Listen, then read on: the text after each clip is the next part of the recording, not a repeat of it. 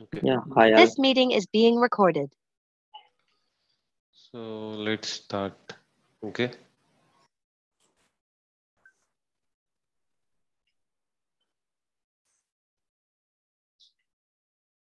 Okay. So today let's complete installation. Okay. Uh, so first thing, um, can you uh, give your email IDs uh, in the chat so that I can uh, share uh, this Google Drive link where you can download all the softwares.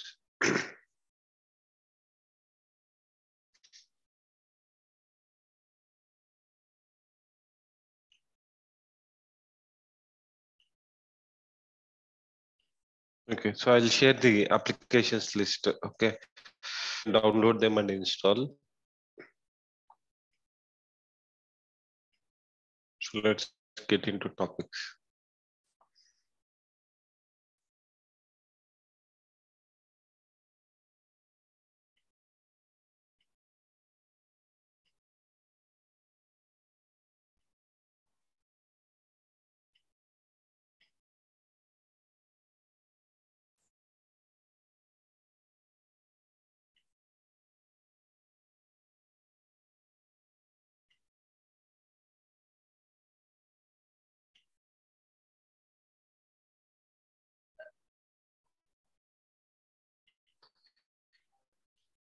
Understand about Mule runtime first.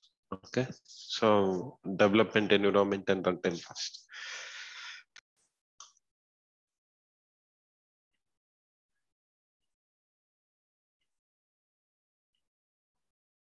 So MuleSoft uh, is built on Java. Okay, so basically, whatever uh, code you write in Java, so you write it in .java files, right? Okay, so once you write your code in .java file, after you compile, it will convert to .class file. Okay, so Java runtime environment. Okay, so each programming language will have a runtime. Okay, so Java runtime environment can understand uh, only class file. Okay, so which is compiled version of the code. Okay, so every runtime can only understand machine level language. Okay, so which is basically a compiled code. Okay, compiled code. So in Java, for whatever functionalities you write, you had to uh, do it on your own. And uh, each and every line of code you need to write it. Okay. For example let's say if you want to connect to a database. Okay. So what you need to do. So let me show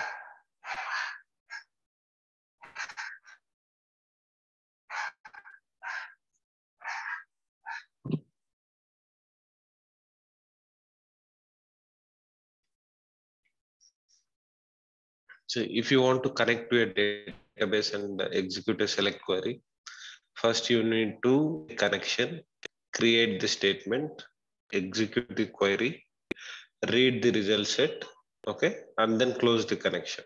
Okay, so these are the steps that you need to follow. And each and every line of code, you have to write it. Okay, so this is all manual coding basically, okay, in Java. So uh, you need to create connection okay or establish connection. Uh, then create statement which is your query basically okay. Execute the statement okay. Then read the result set okay. So after you are done reading the result set you should close the connection Okay, so these are the steps that you will be following in Java, okay, while writing code to connect to a database and execute a select statement, okay. So this has been simplified, like all these types of tasks have been simplified in Mule in such a way that like if you want to write code, so you can just simply uh, drag and drop the component or connector that you want to, okay the component or connector that you want to uh, work on select the operation that you want to do. So select so if you do if you drag and drop select so you just need to write query here okay? So you just need to write query here okay? So which is the uh, second step okay? For create connection, you don't have to write any code, but you just need to configuration. Okay, so configuration in the sense like uh, if you need to give host uh, details, port details, user and password and database details. Okay, so you just need to provide the configuration. Okay, at backend, what happens is MuleSoft. Okay, so here it will have everything like uh, uh, for statement for reading the statement results it you uh, you can see uh, it has statement result class okay for everything it will have class okay so for select for uh, bulk uh, execution for statement for stored procedure for everything it will have a class here okay so which are built based on the templates okay these are all template classes okay input values might change, but purpose is same. Okay. So basically input values might change for this. Okay, purpose is same. Okay. So few companies, they may be using MySQL and few companies might be using Oracle SQL. Okay. But procedure is same. You need to create, uh, establish the connection, prepare the statement, execute the statement, read the result and close the connection. Okay. MuleSoft has built template classes in such a way. Okay, so that means uh, to create connection, they have uh, defined a class. And you can establish connection for any data source. Okay, it can be MySQL, it can be Oracle, so it can be anything. Okay, so you just need to give the configuration details and this will take care of establishing the connection. Okay, and this is common configuration for all databases see the configuration might refer to MySQL or Oracle or Microsoft SQL. Okay, but whatever statement you write here that reflects or that executes in the connection configuration that you give. Okay, so this select query, uh, like uh, not only select query, any query. Okay, so they have given a given a common area where you can write any query that you want to execute. Okay, so all these things are simplified in form of drag and drop okay so that you don't have to do much coding okay? So you just need to configure a few things and write your statements or uh, uh, scripting or expressions okay? And MuleSoft will take care of it okay? So it will take the inputs from the configuration that you give here and it will uh, prepare another uh, class at backend okay for the code that you have written okay? And execute it in the mule runtime okay? So since you're uh, like developing applications based on drag and drop methodology by help of MuleSoft provided uh, libraries. So this will create, this will also have a coding format file. Okay. So for Java, it is .java file. Okay. So for MuleSoft, it is .xml file. Okay. But this is a special XML. So we call it as Mule configuration file. The reason that we call it as mule configuration file is if you see here, if I create file like test, okay. So by default, see traditionally how XML will look like is like, uh, let me show. See here. So this is how just XML looks like, okay. But in Studios, studio is able to understand and give you few options here okay? Which is message flow global elements configuration xml like this okay? So whatever this is like canvas area okay? So whatever you drag and drop here so it will create the corresponding xml uh, tags at the backend okay? So this is a flow. So that's why uh, like it is named as a test flow. So here it has created a tag okay Inside that flow, I have dragged and dropped a listener.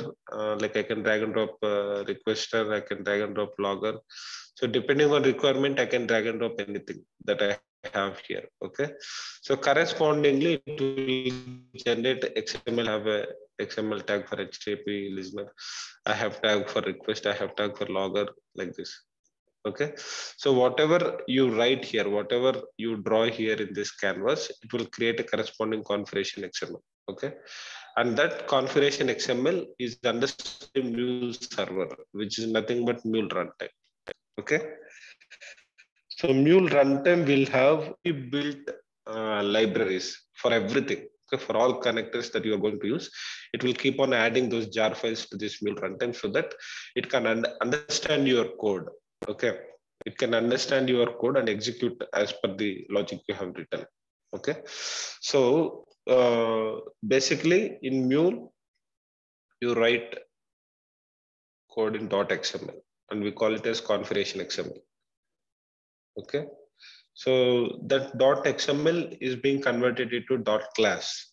Okay, at backend by Mule runtime. Okay, by Mule runtime.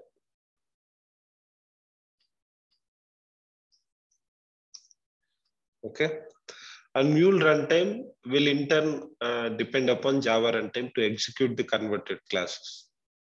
Okay, so end of the day, it depends on Java to work.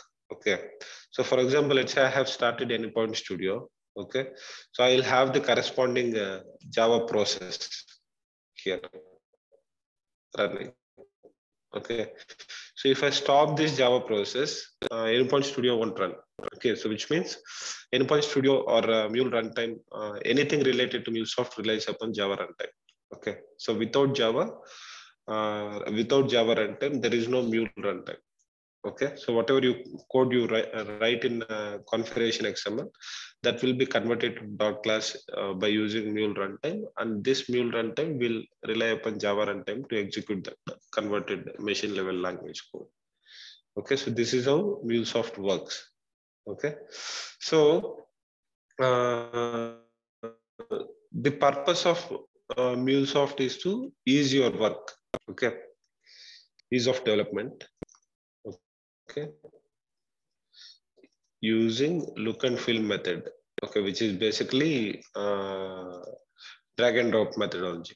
Okay, so you don't have to write much code. You just need to script it uh, like by selecting the right set of uh, combination okay and uh, if you run the application job will be done okay so the main purpose of MuleSoft is to ease of development second thing is uh, ease of code maintenance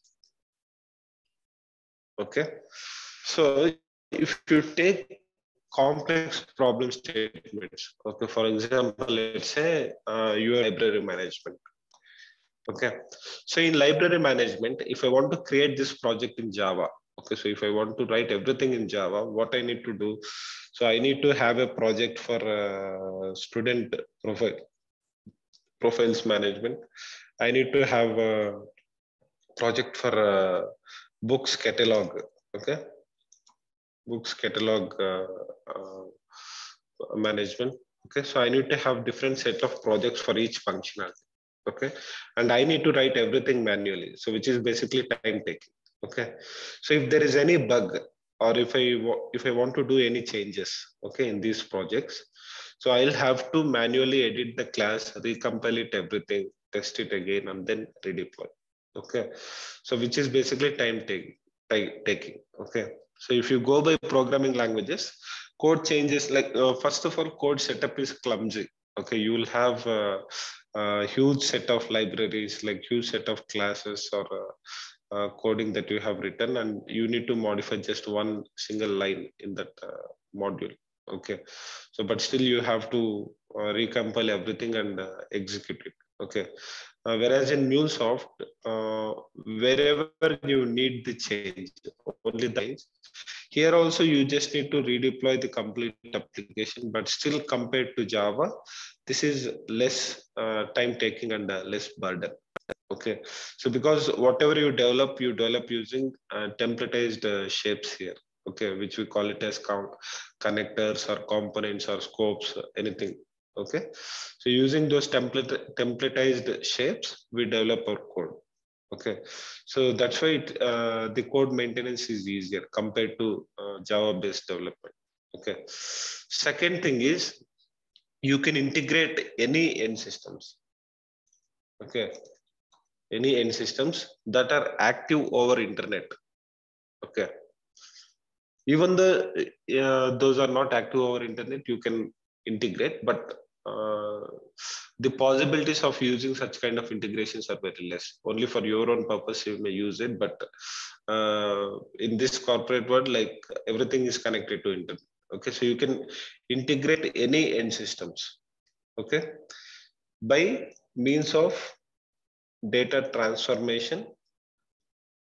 Okay, data transformation and transform transportation. Okay, so which means, for example, let's say uh, in the same library management, okay, in college, so everything is connected to LAN, right? All systems are connected to LAN. Okay, so let's say uh, in your computer lab, uh, you have created some files, and you need to send those files to library management. Okay, so what you can do, you can have a common shared location. Okay, shared location, or you can have a college file server okay. File server. So whatever files you upload right those files are in. dot csv format okay or excel format okay which will basically have the uh, student uh, list okay newly enrolled student list or uh, books list that they want to order for uh, future reference. It can be anything okay so now uh, what library management people will do, they'll import that CSV file into their application so that they can populate the table data. Okay, uh, via Java project. Okay, but you need to do a lot of coding. How MuleSoft can help you here is, so in this case, your source system is uh, file, like shared location or file server. Okay, your source system is file server and your destination system is database.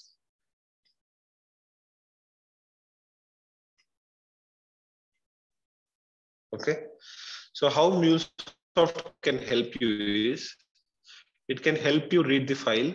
Okay, so database can understand in rows and columns format, which is a tables format. Okay, whereas CSV you have cells okay not uh, it's also rows and columns but that format cannot be exactly understood by database. Okay you need to interpret in between and make database understand that uh, this is what the feed that you are getting. Because see uh, in database if you try to insert any record to database you have to uh, configure values for each column. Okay at least for the columns that you explicitly specify there should be a value present for it Okay, so there may be nullable or not non-nullable uh, columns also. Okay, whereas in CSV you can't judge right. Like you can get an empty cell also for that particular column where it will fail. Okay, so that's why you need MuleSoft for uh, data validation. Okay, to make sure whatever data you are receiving that is correct. Okay, you need uh, MuleSoft for transformation. Okay, so, so that it can convert uh, the uh, CSV file format to database related format and insert those records in database. Okay. And you need MuleSoft for transportation, like basically moving uh, the data from file server to database. Okay. So MuleSoft will be helpful in these kind of use cases as well. Okay. So that means you can integrate any kind of end systems. Okay. The purpose of MuleSoft can be huge. Okay uh, like uh, you can use it as a alerting uh, system like where you want to send out sms uh, or emails to your customers uh, depending on an event okay? So you can use it as a backend like stack backend web, web stack for your complete website okay? Where you want each and every data to be supplied by MuleSoft okay? You can use it as a file based uh, integration system like this okay uh, so there are n number of integration patterns that you can draw using MuleSoft. Okay, so the, the main purpose of middleware is uh, to send data from one place to another by interpreting the data in its native format. Okay, so that means uh, today if you are using file server and if you're using CSV file, but your target system needs it in JSON or uh, some other format, your integration system should be able to convert that data from source format to destination format and then update the data there okay? So not only MuleSoft integration layer can be of any tool okay? Like uh, uh, we have ServiceNow like we have uh, TIBCO we have uh, webMethods okay? So all these things are integration tools okay? So their purpose is to uh, bring data from one source and send it to different destination by also changing the data format from uh, native format to the desired format. Okay so that is the main purpose of integration. Okay so in those uh, integration area so there are different types of integrations. Okay one is point to point integrations. Okay point to point integration uh, and the other is uh, web service based integrations. Okay, so these are the major classification among integrations. Okay, point to point integration in the sense you have only one source and you have you have only one destination. Okay, but in between you need to do a lot of operations. Okay, so those kind of integrations, we can call it as point to point. Like uh, the previous example I gave, like where uh, you need to pick a file from file server and insert it in database. Okay, so this is point to point integration. That means the range of audience are less. Okay, you have only two parties involved here. Involved here. Okay. Uh, so the result of this integration can be anything, but uh, the major number of parties involved here are three, including MuleSoft. Okay. Whereas web service based integrations, so this will have wider range of audience. Okay. For example, let's say I have a uh, McDonald's app. Okay. So or hotel management app. Okay. So I have launched a new restaurant along with a mobile app so that my customers can order food from my restaurant. Okay. So as soon as uh, they log in, so i need to uh, store uh, like store their information okay? I need to store the customer information so that as soon as they uh, they launch their uh, uh, app and go to their profile page they should be able to view the order history. They should be able to view their personal information and update their contact information or addresses like this okay? So in order to maintain all those things there should be a place where i can store the customer information okay? So the first option would be database Okay. Uh, second uh, end system I would need is uh, I need a SMTP server to send out emails as soon as they order something. I should be able to send out the invoice for them. Okay, so I need uh, email or SMTP based uh, end system so that I can send e email alerts. Okay, I need some SMS gateway. Okay, so we learn about uh, how to send SMS using MuleSoft. Okay, I need SMS gateway. Okay, to send out messages, uh, okay, text messages or alerts uh, with respect to promotions or orders or anything. Okay, so these are the common end systems that I can uh, see. Okay, and this mobile app can be used by anyone. Okay, if it is floated in uh, Play Store or Apple Store, it can be used by anyone. That means web service based integrations have wider range of audience. Okay, and parties involved. Okay, so, and the connection uh, between mobile app and these end systems is handled by MuleSoft. Okay, so the connections and uh, for transformation and everything is being handled by MuleSoft. Okay, so understood, right? Hello. Yes, yes. Yes, sir. Yes, yes, yeah, okay. So connections and everything are handled by MuleSoft. Okay. So basically, as soon as you load your page, if you want your profile information uh, to be displayed, mobile app will send a query to uh, MuleSoft. MuleSoft will send a execute a query in database. Okay. After it receives the response, it will understand that response and convert it into JSON format or whichever format mobile app can understand and it will send back that response back to mobile app. Okay, so let me show you how that logic looks like.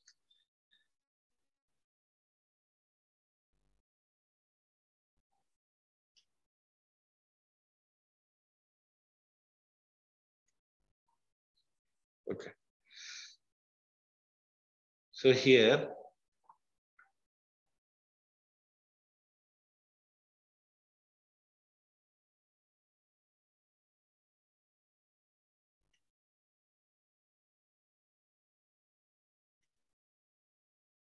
So here I am calling uh, this web service. Okay. Uh, so uh, depending on the URL I pass, I'm calling a web service. Okay. So let me run this app once.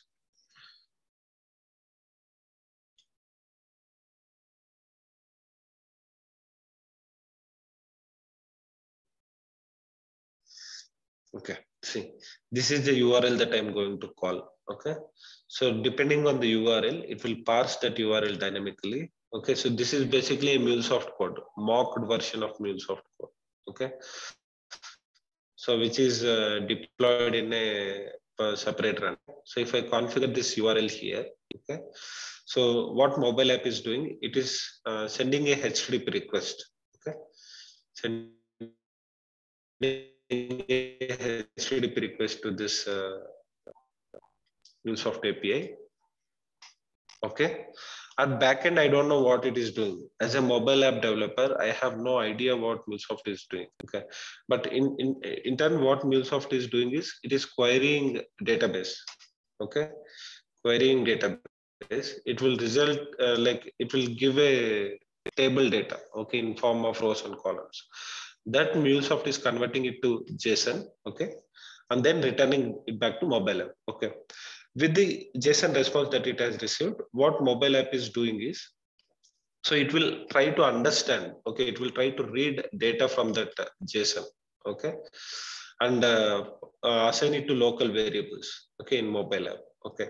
After it assign it to local variables, it will try to display those things okay? See uh, this is a grid tile okay? So which means uh, this area okay? Just a second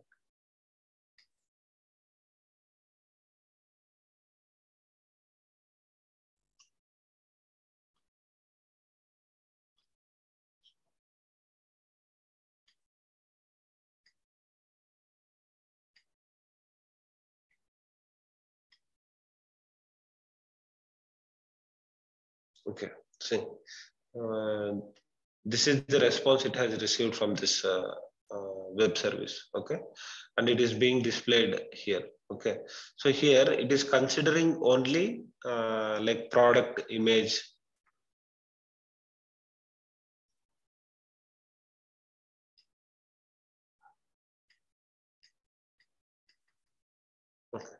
So here it is considering only product uh, image. Okay, it need title. Uh, uh, okay, and it need price. Okay, so the response it had received has so many details. Okay, but it doesn't care about those details. Okay, it it can take only what it need. Okay, it needed only title, price, and uh, uh, name okay or image url okay so only those things it is considering and reading it okay so that is how web service based integrations work okay.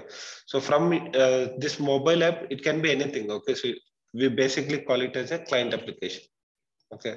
So client application can be anything. It can be a desktop application it can be a website it can be a mobile app or anything okay? So over http you will get request to mulesoft uh, inside your MuleSoft logic, you can do any operations that you want to do, like uh, uh, say executing a select statement in database or sending an email alert, okay, sending a SMS alert. So you can do anything inside MuleSoft, but you need to respond back to your client application with an affirmative response, saying either it's successful or failure. Okay, so that depending on that, they can display it in their uh, end system or UI okay. So if the product image is not available you should be able to display like this. Okay saying image is not available symbolically. Okay. So how you can do that? Like uh, while reading for its uh, let me stop. So while reading uh, image if the value is null it will automatically display this uh, empty uh, tile. Okay. So this is a web service based integration work Okay. Whereas point to point, it will have only maximum three parties involved, like source, destination, and MuleSoft. That is, that's it. Okay. Whereas web service based integrations, it works over the internet. via HTTP. Okay, and it has wider range of audience. Okay, understood, right? Uh, one small doubt, like Yeah. uh, uh, you explained this example, right? Here, uh, wh- where will this experience API comes? I'll come to that. Okay, I'll Okay. come to that. First, you understood how this Yeah, yeah. integration works, right? Web service. Okay, So the reason we call it as web service is, for example, let's say if you write a Java code in your system, what happens? You can execute it in your system alone. Okay. yeah, So if you write a .java class file and compile it, and uh, you can execute only in your system. Okay. Whereas web service, the code that you can execute remotely, okay, using a internet protocol. Yeah. Okay. So that we call it as a web service. Okay. So I have written some logic in MuleSoft, uh, which is deployed somewhere else, not in my physical system. Okay. It's deployed in somewhere else in some server but I'm able to a- execute that code using a internet protocol, which is HTTP, okay, okay, to get some job done, okay. So I want to display a uh, menu list page. I'm able to display that by hitting a HTTP URL, okay. okay. Got it, right? Yeah, yeah, yeah. Okay. So that is what, yeah. Yeah, what is like B2B integration? See, okay. So, so these two are major types of integrations. Okay, B2B, B2C, those are integration patterns. Okay. Okay. So B2B in the sense business to business. Okay. So there are two types, B, B2B and B2C, business to customer and business to business. Okay. This integration, web service based integration that I have explained right now, this is B2C, business to customer. Okay. So uh, the end system that I'm connecting are purely related to my organizations. Okay. They are nowhere related to my customer. Okay. So my customer is not aware of which SMTP server I'm using, which SMS gateway I'm using, which database I'm using. My customer doesn't have to be aware of those things. Okay. I just need to give them results based on their request. Okay. So that is B2C, business to customer integration. Whereas business to business integration, let's say you, you are using enterprise related applications like SAP. Okay. Uh, you process or Concur Okay, Concur is basically uh, time tracking and daily expense uh, uh, related application. Okay, so uh, how you process payments in such kind of end systems is via a file. Okay, that is generated by a bank. Okay, what banks do? They'll generate a payment file, share it with the SAP team. So SAP will place that file in some SFTP location okay. You need to pick that payment file uh, and send it to concur to for billing purposes to to make the final payment. Okay. So those kind of integrations are business to business. Your customer is not aware of what's happening inside. Okay. For example let's say uh, in your company uh, like you apply for a claim. Okay. For your internet bill or whatever it may be okay? So you don't know how that payment is being processed but you get the money that's it. Okay?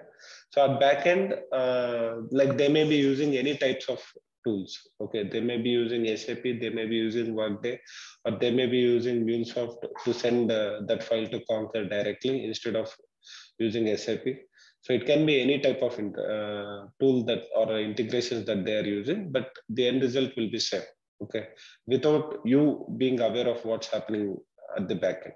Okay, so that is B2B integration. Okay. So uh, with respect to MuleSoft particularly, okay, so B2B integrations, we have something called Partner Manager. Okay, Partner Manager. For B2C, we have web services that we can build in MuleSoft.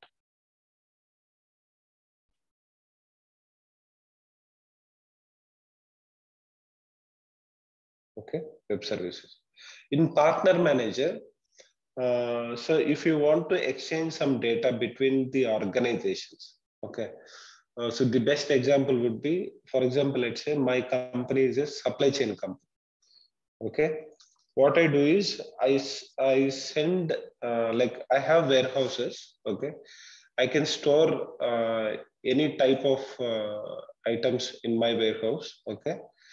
And uh, I have received, I can receive orders from Amazon, Flipkart, or Snapdeal, any anyone. Okay, any e-commerce vendor. Okay. So I need to send those items to uh, my customers uh, who are basically Amazon, Flipkart, and uh, Snapdeal. Okay. So in order to send those, I need transport. Okay. But my company is a supply chain company. I don't own transport. Okay. I don't have any transport. Okay. So, but I need to uh, generate invoices to a third party transport uh, like provider. Okay. So we have something called uh, Transferix. Okay. Transferix uh, uh, company. Okay, so what these people do is uh, if you give the item dimensions and uh, length of the container you need, what type of transport you need, you- if you give all those details to them, they will plan the pickup and delivery. Okay, you don't have to worry about it. But the payments has to happen between your supply chain company and Transferix. Okay, so nowhere your customer will be involved in this transaction. Okay, uh, basically Amazon, Flipkart, and Snapdeal, they are not aware of how you are sending and from where you are sending. Okay, they just need the item, they have ordered it, and you are sending it. And in between, you are setting up a deal with uh, uh, your company and Transferix, okay, for transport management system. Okay, so these kind of transactions are B2B transactions. Okay, so still you have to use some protocols, right? Like internet protocols to send data between, to exchange data between your parties. Like that's why you use partner manager here in MuleSoft. Okay. Yeah. So it's not only a tool, okay? So B2B or B2C is not restricted to any type of tool, okay? It's restricted to nature of transaction, okay? If the transaction is happening between two parties where the customer is not involved, that is B2B, business to business transaction. If the transaction is happening with the involvement of customer, like where customer is ordering some item for you and you are shipping that item for the customer. The, those type of transactions are business to customer transactions. Okay, so technically these are uh, uh, these can be uh, implemented in these two ways. Okay, either by web services or by partner manager. Okay, but functionally these integrations uh, depends on the nature of transaction. Understood, right? Yes, Jagdish. Okay. Jagdish, is H2H and B2B are same? Sorry. No, is H2H and B2B are same? Uh, H2H, I'm not aware. See, naming conventions can be anything. Okay. Problem with integration is since you have so many number of tools, everyone, like anybody can write their own definitions. Okay. Okay. So for, I'm not sure what is H2H, uh, but th- that may be a just pattern. Okay. So it's not a technical term. okay. Yeah. So any doubts so far?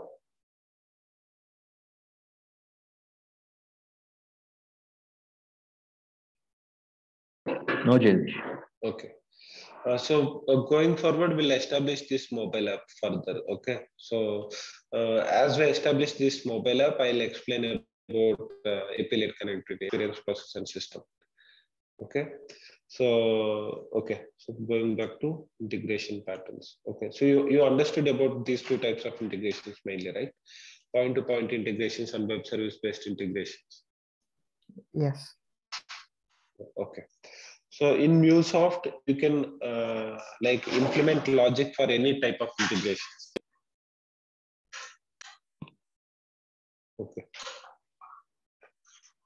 So coming to web service.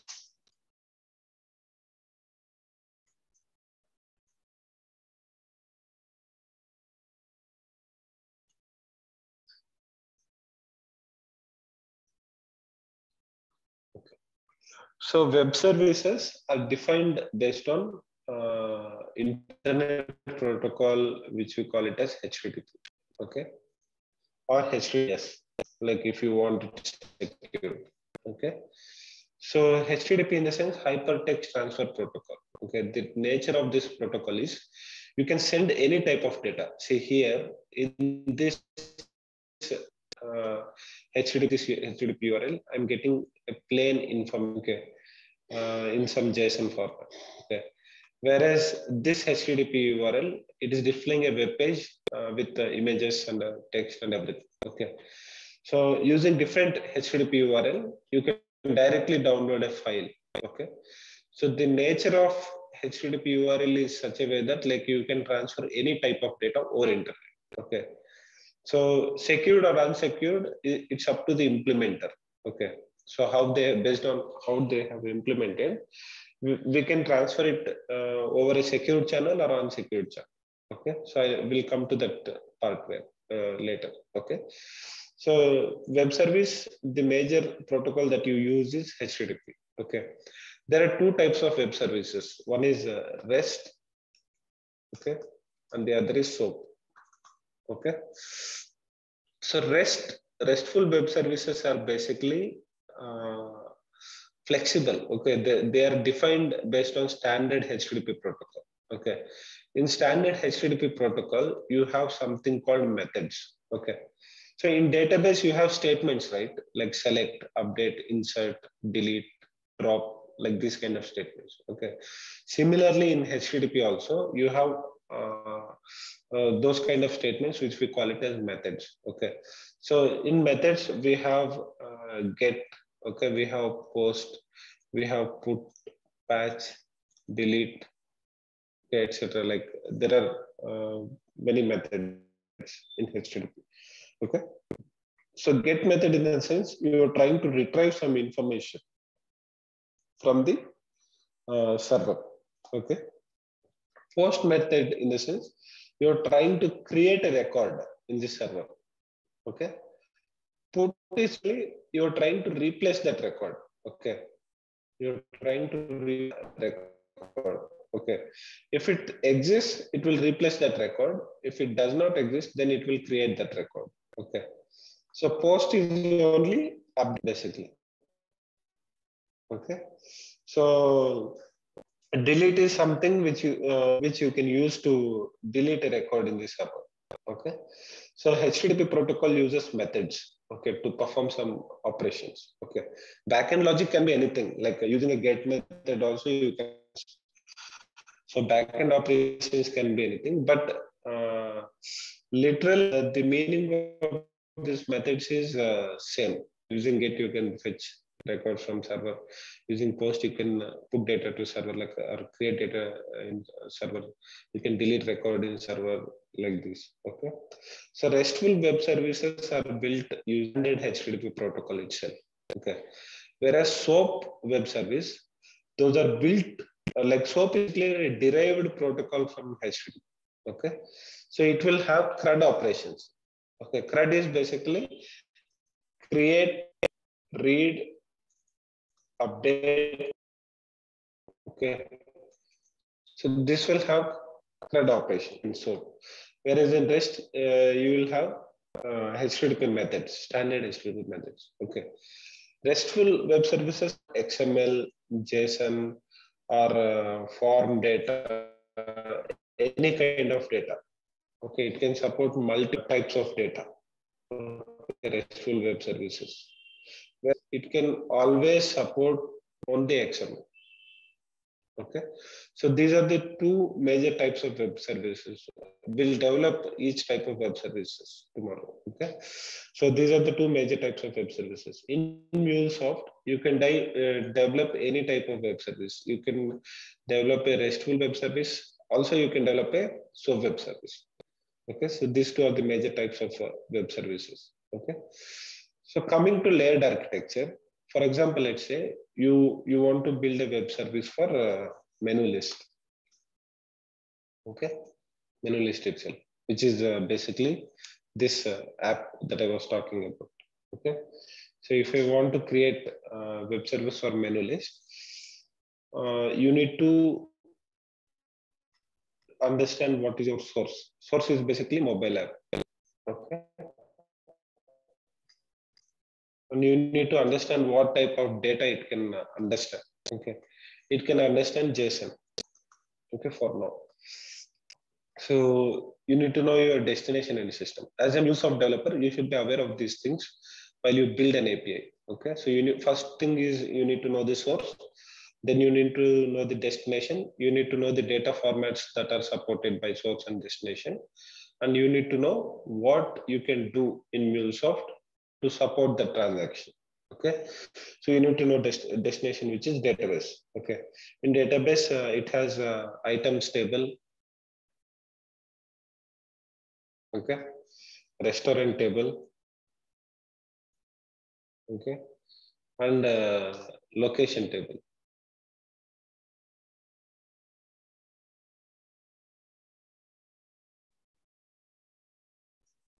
Location table. Okay. So in MuleSoft, while you design API here, what you need to know is how securely you can build an API in such a way that I can reduce burden on my database. Okay. So while the customer launches mobile app, few people they may have enabled location services and few people they may have disabled location services. Okay. If they have disabled location service, they need to select everything like select star from. If they have disabled location service, they need to select select star from item. Okay. Whereas if they have enabled location service, they need to select select star from item range. Okay. Range equal to five, which is basically five kilometer range. Whatever restaurants are available within five kilometer range, it needs to display items from that restaurants only okay? Whereas if they have disabled location they need to select everything from item okay? So if it is based on range the data that you are going to select will be less okay? So there is no harm in that. You can support any number of uh, uh, queries like that okay for example let's say at, uh, exactly at same time globally worldwide there are around 30000 people accessing your uh, mobile application okay so that means for each user, you are establishing a database uh, connection. Okay.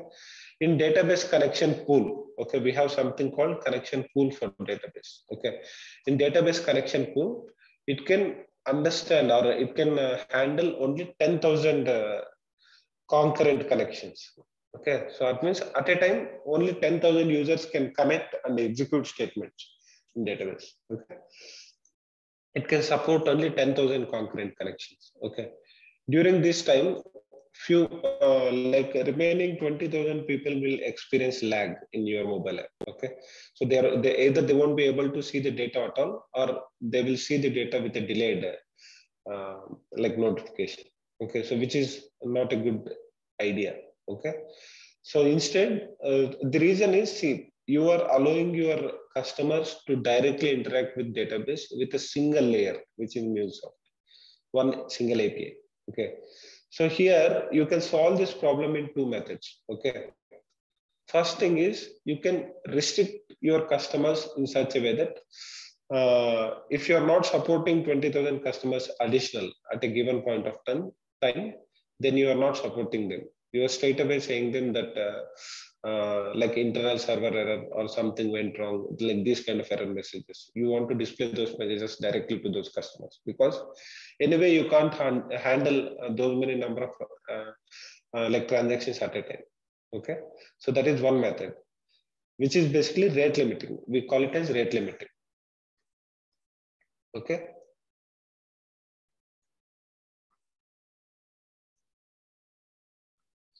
Okay.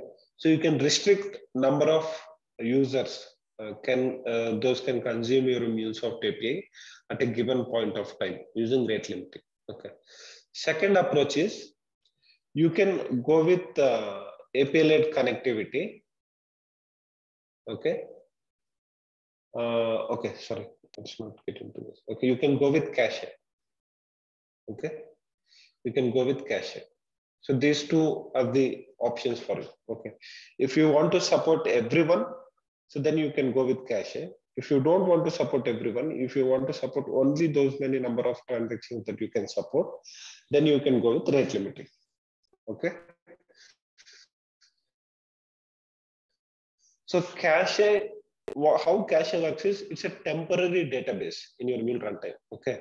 So it's like a temporary database in your mule runtime. Okay. So what you can do, for example, let's say, uh, let's say these 30,000 requests are coming from different geographical regions. Okay. So at least few of them will be from same location, right? They may be from same, same location. Okay. So if it is from same location, you don't have to select that query again and again because menu list remains same for all those people who are residing in same area. Menu list remains same. So you don't have to select each and every time a user launches the API in that area. Okay. So what you can do for first time, you can select from database and store it in cache. Okay. So for the second time, if you get a request from that location again, okay, you don't have to hit database now. You can directly retrieve from cache and give it back to the mobile application or customer. Okay, so that they can explore the list. This way, you have reduced uh, number of connections with database. Okay, so that means you, you are expanding the space for more number of users to use your app. Okay, so this way you can reduce the uh, number of connections to database, and at the same time, you can serve your customer with the relevant data. Okay, whereas if you use rate limiting, this can also be applied at MuleSoft level. Okay, so you, at the API manager level by means of policies. Okay, so rate limiting is basically basically a policy. Okay, so using this policy, what you can do is you can avoid the traffic here itself. You don't have to send it to database at all. Okay, if you're if the uh, threshold value is exceeding, for example, let's say rate limiting thousand requests per second. Okay, so if I configure the rate limiting policy like thousand requests per second, that means I can accept only thousand requests requests per second. I cannot accept more number of requests than that. Okay, I'll straight away reject saying that the limit exceeded. Okay, I'm not even sending it to database. This is different method. Okay, among this, this is feasible uh, solution. Okay, because by using cache, you can serve your customers as well as you can reduce burden on your database. Okay, so so understood, right? Like in which cases we use cache and uh, hello. Yeah, yeah. Yes, sir. Yes, Rakesh. Yeah. Okay. So uh, this is one solution. Okay. So second thing is, for example, it's okay. So I, I have decided how I need to write my logic and I have written logic in single project. Okay. In one single project, I have written that logic. Okay. Now comes the security part. Okay. Security in the sense, uh, not only code uh, like uh, API security, code security as well. Okay. There is something called abstraction. Okay. Okay. So there is something called abstraction. Okay. What this abstraction is, you should not uh, like expose your logic or you should not expose your end systems to your client applications directly. Okay.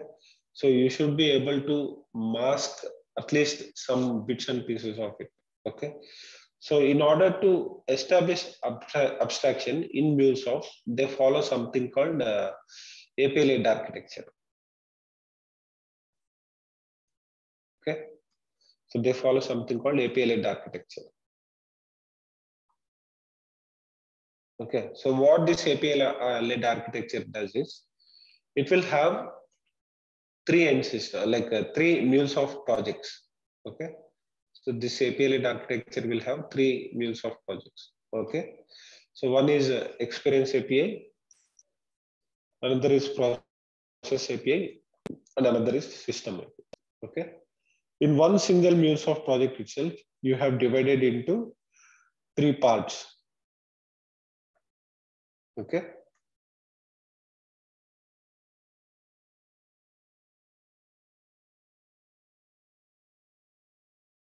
Okay. So in experience API, you will not write any kind of uh, logic. Okay. So you simply forward that request to process API. Okay. So in process API, you write transformations. For example, let's say uh, you are trying to query data from database and you have received it in table format. You need to convert that into JSON format. Okay, so those kind of transformations are we call them as business logic basically. Business logic because uh, the nature of data that is supported by database is different, but what you want to return to client application is different. So that means you need some customization there. So those types of customizations, we call them as business logic, okay? All the business logic, you write it in process layer, okay?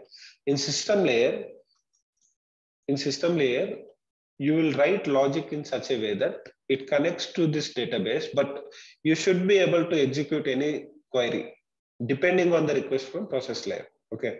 Process layer should tell system API what query to execute. Okay. So that this logic that you have written in system uh, layer can be reused by different APIs also. Okay. Right now, I'm talking about only menu list API, but you have customer API where you want to select customer profile information from the same database, but different query. Okay. So you don't have to uh, write, uh, duplicate that logic only for the sake of uh, different query, right? What you can do is you can use same character itself. So here you can parameterize this query, like uh, uh, you can put that into some variable, okay? Like vars dot uh, query. So in this query, you can uh, send dynamic query, like select star from item, sometimes select star from customer, like that, okay? So you can send a dynamic query, okay, from process API. So in system API, you need to write uh, logic to connect to database and execute the query that is passed on. Okay. So system layer interacts with the backend system now. Okay. Experience layer interacts with client application and process layer remains within MuleSoft. Okay. So that means only API that is exposed to client application is the experience API, which does not have any logic or business logic. Okay. So still your customer won't be able to see what, uh, like what logic you have written in MuleSoft. But for sake of abstraction, they have designed this API-led architecture. Okay, in such a way that you need to divide your logic into three parts: experience API, process API, and system API. Okay, all these three projects are MuleSoft projects itself. Okay, it is just a functional convention that they use. Okay, Say experience API also you write in a, studio itself. Process API also you write in studio itself. Everything is a MuleSoft project. Okay. Only the way you call them or name them is different. That's. Understood, right? Like in which cases you use experience like API-led architecture. Uh, yes, but a uh, small question like uh, in experience API, uh, if it if the user is using a desktop or a mobile application mobile it depends upon like uh, does it have any effect on experience api like uh, what device they are using how to project the data to the system? It's experience API, uh, like uh, it's mainly okay see the job of experience api is uh, it needs to receive uh, HTTP request. See, uh, when I deploy a sample application tomorrow, you'll you, will you will okay. get to understand. Okay. Okay. So uh, the purpose of Experience API is uh, you should be able to receive requests from your client application, pass on that request to Process API in Agile format. Process API will uh, decide if there is a necessity to call System API or not. If there is a necessity to call, call system API, it will call the system API, get the data from system API. If there is a need to transform it, transform the data and then respond back to experience API and then back to client application. Okay. okay. So the play the major player here is process and system API. Experience API is just an, a top level creamy layer where uh, uh, like it is exposed to client application only. Okay. okay. So mobile apps cannot directly hit process API and system API. Okay. Because uh, in most of the projects, you'll be using private port for uh, process and system API. Okay. Okay. So only for API, you'll be using public port. Okay. So you will be applying all the policies in Experience API only. Okay. So your uh, like security policies, rate limiting policies, everything you will be applying in uh, Experience API. Okay. Yeah. Okay, Jagdish, thank you. Sir, I have a doubt. Yeah. Uh, it's regarding cache. Actually, rate limiting policies we use in policies, right? Mm. How we need to use cache, like uh, where we need to implement that one. Cache, uh, like it depends. Okay. Okay. There is a policy for cache as well. Okay, where you can set the cache key and uh, store the response in uh, uh, endpoint uh, uh, platform gateway, API gateway itself. Okay. So cache can be implemented at project level, also at platform level. It can be at any level. Okay. Okay. For So if project you- if level, you- we need any components or how we need? Yeah, yeah, you need. Uh, see, uh, if you implement cache at project level, so it will create a temporary uh, database object. You need to use object store. Okay, that object store will, will reside in Mule runtime, not in your project. Okay. Okay, Hmm it will reside in your uh, mule run. Okay. So tomorrow let's let's uh, dig deep into API led architecture. Okay. okay. Uh, then uh, when we come back to cache, then uh, we can check. Okay. Thanks. Sir, the three types of of are అన్నారు కదా hmm. Sir, these are all all we are going to design in the Anypoint Studio itself. Yeah. Yeah, R1, all, all, R1, all these three, all these three APIs are new projects itself. Okay. Yes, so R1. only thing is the naming convention, like how you name them matters. That's it. Okay. Yeah. Or else we use the design center to uh, build the blueprint for the API. Yeah, yeah. So that is different actually. So that is just API specification. Okay. And Okay. you don't write, say, basically, you will never write uh, API specification for all three layers. You only have to write for experience API. Okay. So I'll tell the purpose of writing API specification tomorrow. Okay. Okay. See, for example, let's say I'll give you a hint. Like, for example, let's say if I'm building this mobile app, okay, and I don't know MuleSoft, okay. Okay.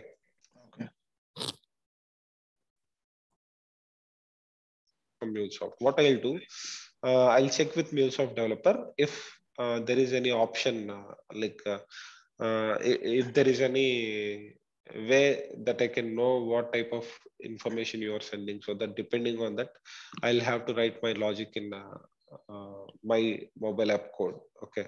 So what MuleSoft developer do? So instead of uh, like giving all those details over an email or something like that, they'll create a API specification in Anypoint platform and publish that to Exchange. Okay. So that in Exchange documentation, I can refer what request I need to send, what response I might get. Okay. Okay. So those things I can see in Exchange itself. So we, tomorrow we'll dig, dig that uh, dig into that deeper.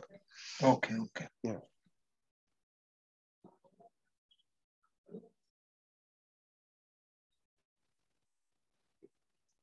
So got uh, understood, right? Any questions? Yes, sir. Yes, I understood. Okay. Yes, sir. Good.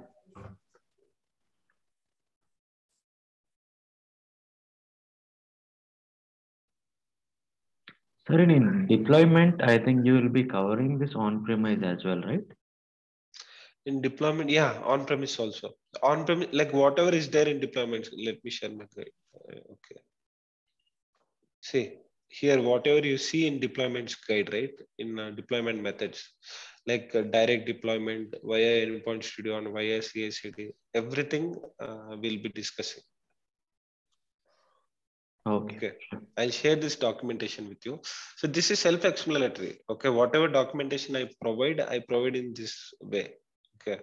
So you can simply follow this documentation, install it in your local system and test it out.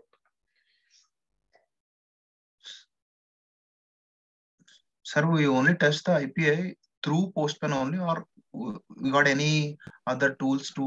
Uh, No, you can test. You can test it via so. Uh, you can test uh, via any tools. You can even test using uh, Chrome. Okay.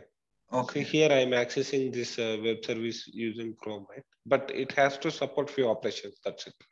It depends. Like uh, uh, if your API writes only get method, uses get methods, then you can uh, test it from Chrome also. Okay. Whereas if your API uses uh, uh, like if if your API has Yes. logic, Yeah, Chrome only supports get method only. Post method Yeah. and yeah yeah uh, if if your api supports along with some custom headers you cannot mock that in uh, chrome you have to use postman Okay. Okay so you can use any testing tool like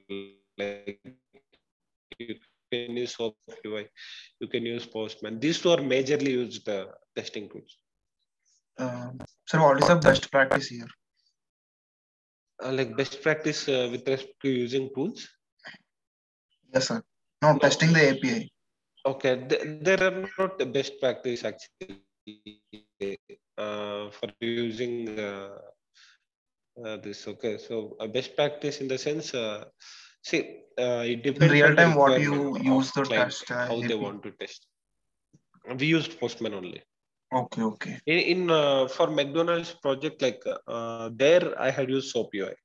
So we have to write uh, functional test cases. Like we have to list everything. Okay. Uh, like we need to write the test cases and we need to uh, add the request and define those uh, test cases in SOAP UI. Okay, we have to do it manually. Yeah, manually. There is no Oh automation God. for this. Okay. Yeah. Oh my God. Or uh, like you can write VB script, but uh, that is way beyond uh, Yeah. our practice because That is uh, not our don't- sir. Yeah, yeah, yeah. We don't do that. So testing people will do that. Jagdish Harish here. Sorry? Uh, Harish here. See, Yeah. would you teach us API specification too? Tomorrow we will be starting with that itself. Because, I have a see- request. Okay. yeah, Speak on, speak on. yeah. See, tomorrow plan is to uh, like write API specification for Experience API. Okay, so for menu list itself, uh, we'll be doing it. Okay, uh, we'll be implementing experience process and system API along with API specification and uh, deployment. Okay, so tomorrow API led connectivity completely I'll explain. Okay. On on top of that, I request you to show me how you will receive request uh, to do the API specifications. Kindly show me that. Okay, okay, yeah. See, uh, like to be frank, in few companies, uh, it's just a one-word statement. You know, what they'll do is uh, like I have a database, and you can execute queries there. Build an API to uh, respond in uh, JSON format. That's it. These kind of problem statements you will get. In few companies, you will get a proper functional design document, technical design document, everything. Kindly, kindly in those. Yeah, in- tomorrow in I'll show. perspective, Yeah, give I'll some show. examples. Yeah, yeah, I'll show. Yeah. Thank you, Jagdish. Yeah, yeah, thank Uh, Jagdish, Yeah. this is Kaini. Uh, like on the deployment part, we have a different environments, right? Uh, right, like dev, uh, UAT, prod. Yeah. So do we need to uh, like how we are specifying our securities, like applying security schemes in the dev and UAT? Is that the separate one or No, no, see, policies, policies will never be environment specific. Those are platform specific. Okay. You, you should never apply policies based on the environment. Okay. You should apply policies for your API in all environments in your platform. That's it. Okay. Policies will never be environment specific. Whatever logic you write, that can be environment specific. Okay. For example, let's say uh, see sms gateway is costly okay you need to pay subscription amount for it okay while testing uh, you should allow only one request in uh, lower environments whereas in production uh, you should use full-fledged. Okay. So if you want to set those kind of restrictions you need to update your configurations in your project. Okay. And for each environment you will be maintaining properties file right? There you need to mention how many uh, maximum number of sms you can send. Okay. So those environment specific. Your logic also you can make it environment specific but uh, policies you can never make them as environment specific those are platform specific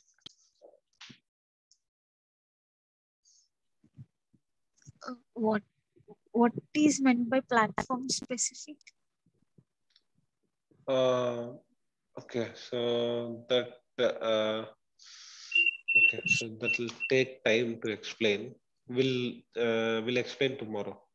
Platform specific. Anyway, we are going to write API specification, right? That would be correct. Okay. Thanks. Shiresh.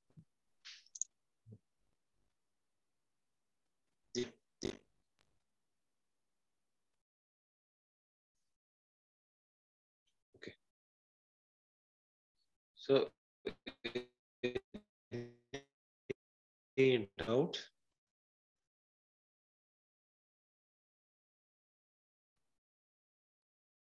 No, no, sir. Okay. Yes, sir. Okay. So we'll close this session from there.